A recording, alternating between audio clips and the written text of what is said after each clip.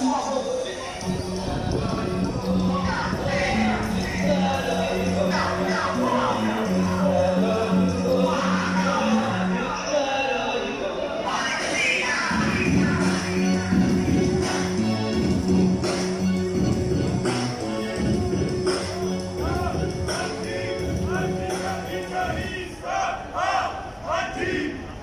Die Reise zur Kasse, nicht die kleinen Leute.